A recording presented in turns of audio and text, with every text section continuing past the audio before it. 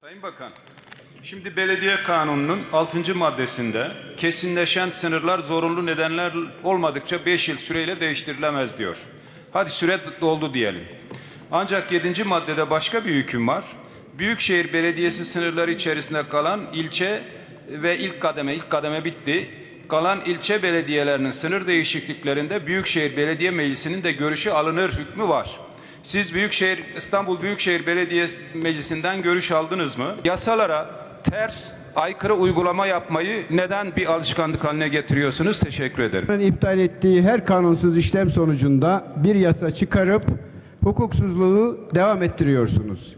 Talana kılıf uyduruyorsunuz. Sizler adil şekilde belediye başkanı yaptınız. Ben de sizin çok yakınızdaki bir ilçede görev yapmıştım.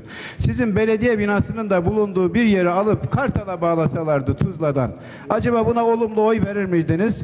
Bu konuda bu yapılan haksızlığa vicdanınız sızlıyor mu? Birincisi bu. İkincisi bu tür oldu, oldu bittilerle yargıyı ortadan kaldırmıyor musunuz? Tuzla Belediyesi'ni Kartal'a gönderselerdi kabul etmezdim doğru. Burada da öyle bir şey yapılmıyor.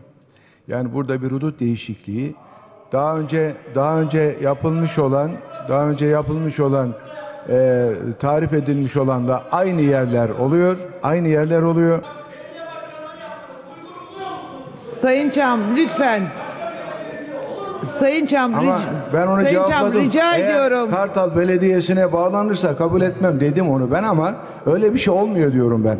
Daha önceki yer neyse aynısı oluyor diyorum. Ee, değişen bir şey olmuyor. Daha önce de böyle böyleydi. Şu anda da aynı şey. O gece yarısını bilemiyorum. Sayın milletvekilleri,